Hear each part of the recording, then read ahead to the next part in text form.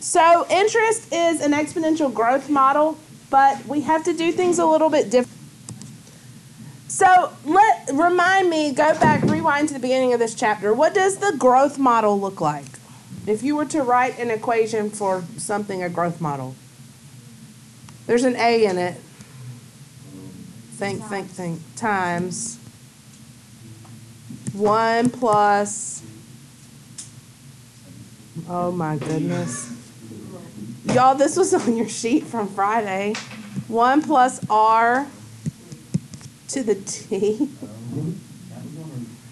That was not on the sheet. We didn't do that Friday? No, we don't. Okay, okay, okay, okay. We, well, we've graphed, I guess I'm thinking that we graphed growth and decay. Okay, that's all right, that's all right. All right, so this is what we call a growth model.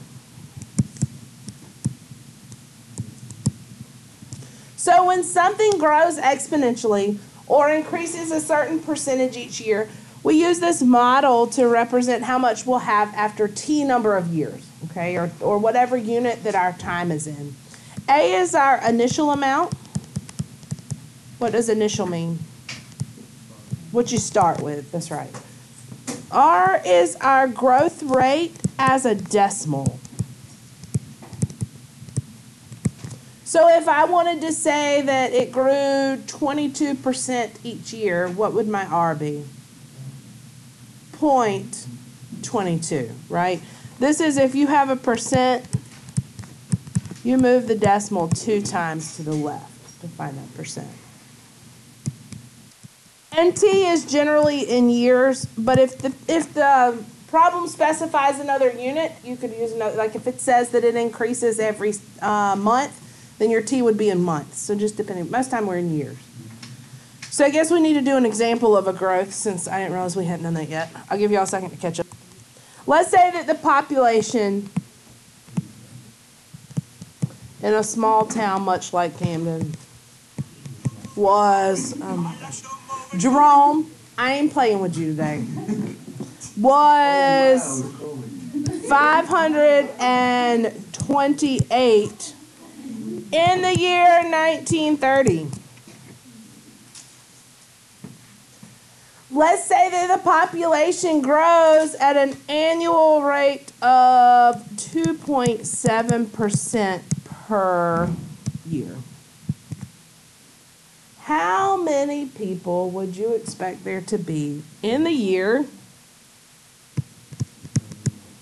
20, 2019? Now, today.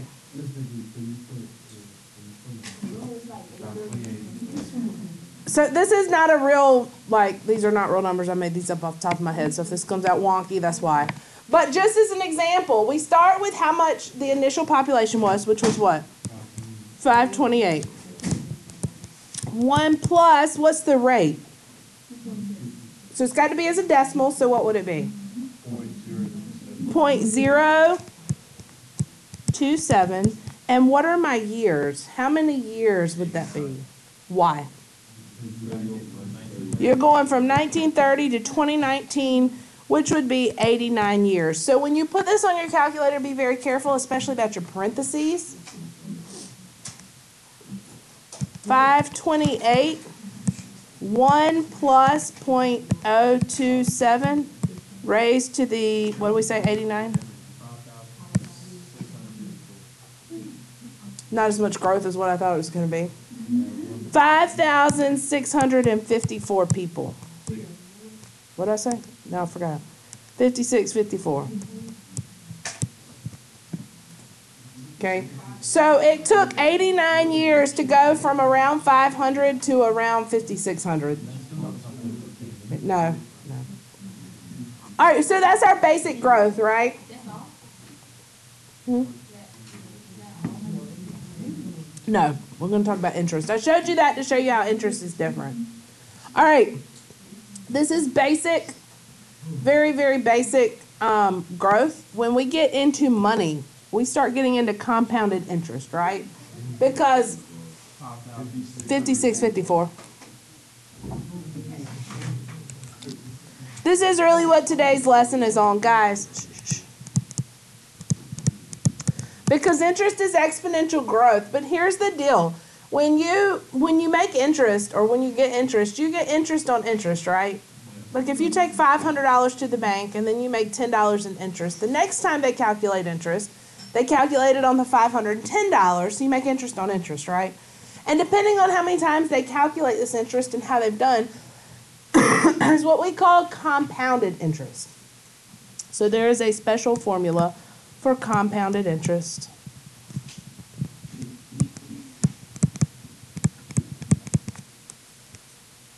And it is the same A, 1 plus R over N. And I think your book might use a K, I'm not sure. To the NT. Now here's what they, this means. Everything looks the same except for one variable. What is that one variable? The N. Right? A is still the same, that's how much you start with. R is still your rate. T is still your time.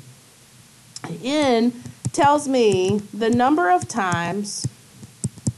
Number of times. Y'all remember this from Algebra 2? I never learned that. Who did the project? Yeah. Oh, I hated that project. I hated it. All right, N is going to be the number of times that we compound per year. So if I said that we compounded the interest quarterly, how many times per year would that be? Four. What if I told you that I compounded monthly? Twelve. What if I told you that I compounded daily?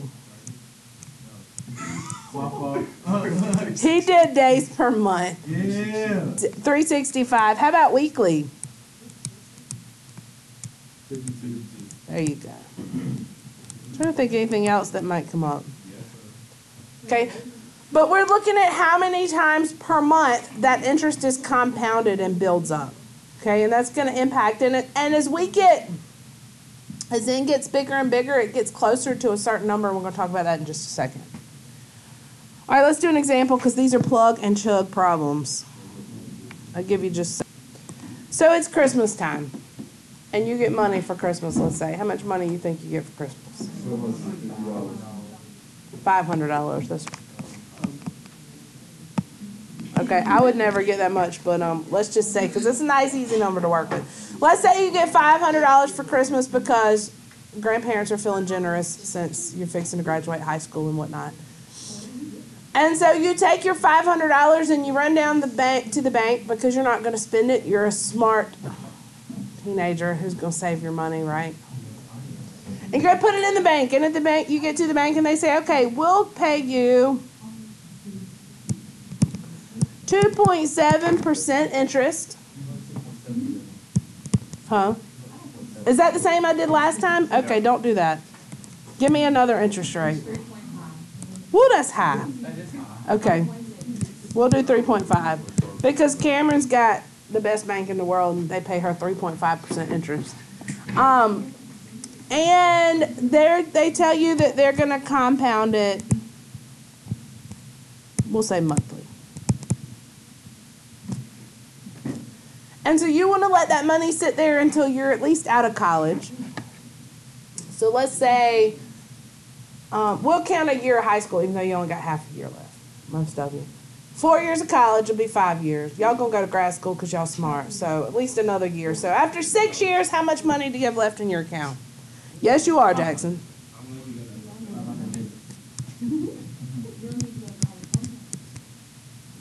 How much? How much do you have left after six years? Hmm, let's figure it out. So start with that's right. So 500. There you go. Point zero three five. Oh. Over. That's right.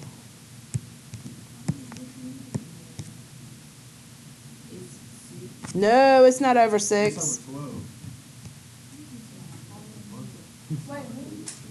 Why is it not over six? What what does it go over? Twelve. Why twelve? How many times per year is it compounded? So that would be twelve. What's my exponent here? Times twelve times six. N times T.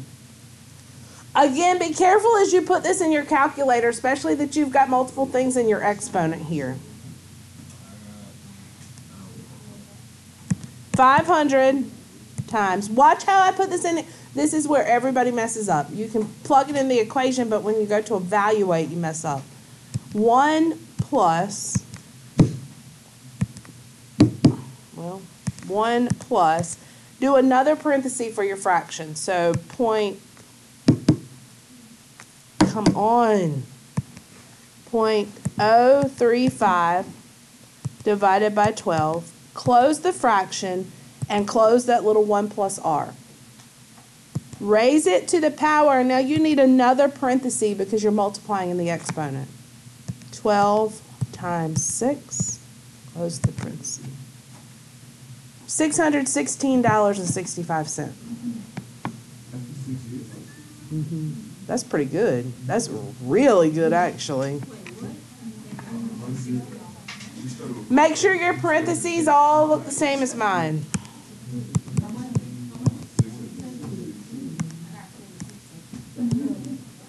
If you didn't, my guess is that you didn't put parentheses here correctly or here correctly. One of these, or can you plug in this way? Yes, Miss McGee, we're good. No, Miss McGee, do another one. Do another one? Okay. Jerome took his five hundred dollars because he said that was crappy. And he went down the road to another bank. Jerome, what interest rate did they offer you? And it's one point three. One point three percent. And that's okay. How and how often did they compound? Daily. How much does Jerome have in his account after the same six years? Yeah, do this one yourself.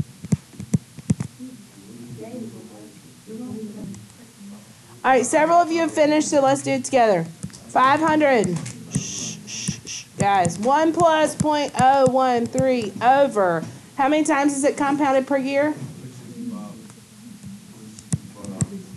Raised to the 365 times 6.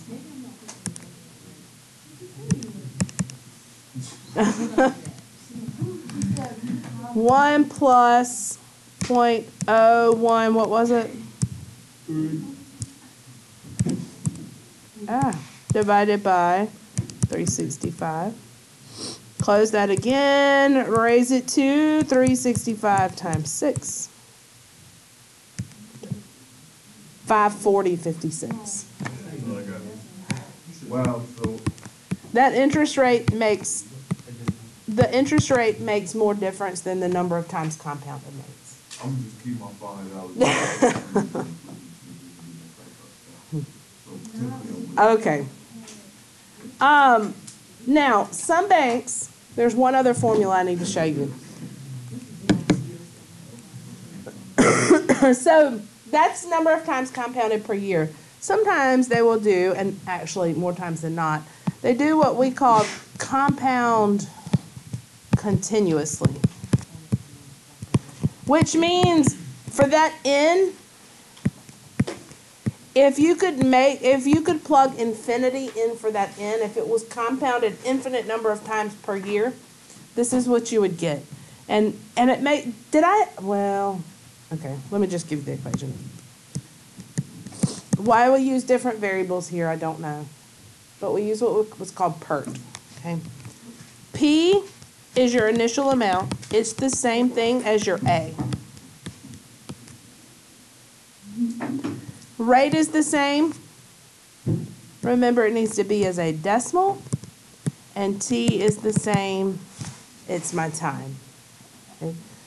And the deal is, if you took that equation, that 1 plus R over N to the N times T, if you put infinity in there, it approaches this value of E. Remember I gave you a formal definition for E that was like 1 plus 1 over X to the X. Do you remember that? No, you don't, because I told you you didn't have to remember that. That's fine. Um, it approaches E, so that's why that's where this formula comes from. Okay, so let's take that same five hundred dollars. Let's take that same one point three percent PZ interest rate, And it should be fairly close to that five forty when I do it because it was already compounded every day, right? This time, we're gonna compound it continuously after six years. This, you're looking for the word continuously to use PERT. So I have five hundred. E, what's my R? Point zero one three. And my years, six.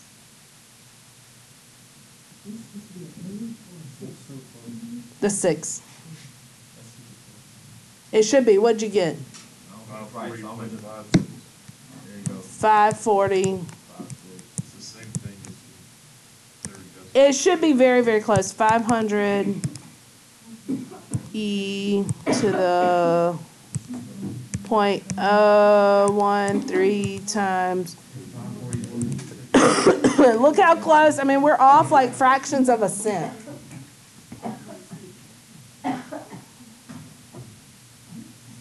Let's try. Easy enough. Jerome, who thinks that it's not enough money for what he, what, tell me this, Jerome. What amount after six years would you be happy with acquiring? What would be worth it for you to let your money sit there for six years? Hundred thousand dollars? No, let's be realistic here. No. Seven hundred I dollars. said seven hundred and eighteen dollars. Okay. Okay, well, it's three months. When, when would your bank account reach seven hundred and eighteen dollars? Same five years. I mean, not, not five years, I'm sorry. Same five hundred dollars that you invest. Same six years. Nope, not six, not six years. We want to know how many years. Same five hundred dollars. Same one point three percent interest rate. How long would it take you? Let's say, let's say compounded continuously. How long would it take you to reach seven hundred and eighteen dollars? Okay? Seven. So this time, what we're gonna do is we're gonna set it equal and we're gonna have to solve for one of those variables. And this is where our logs are gonna come in. So this time I wanna know if I start with five hundred and I do one plus that rate divided by, oh no, I lied. Boy, I'm flubbing this up every which way. Why was that wrong? That was the other. That was the other formula. What formula should I be using? The P one, right? I should be using Pert because it's continuously. So it's five hundred dollars. E, the rate is point oh one three, and the time is what I'm trying to find. I want to know what do I have to plug in for T in order to make this equal how can you solve this? This is an exponential equation. What do you do first? Before I change the form, what's my first step? You need what? Divide by 500. That's exactly right. You have to isolate the exponential piece. You're going to be surprised by this number. It's going to be really big. All right, so I've got e to the 0.013t equals one point what?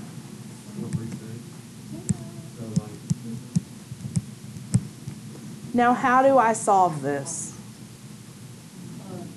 Once the exponential term is isolated, what do you do? Change the form. In logarithmic form, what does this look like? ln, and I use natural log because the base is e. If you did log base e, that's not wrong. So natural log of what? 1.436 equals what? Logs always equal exponents, so 0.013 t. Can we solve that? Yeah. Sure. What's the natural log of 1.436? Let's find out. Anybody? What is it?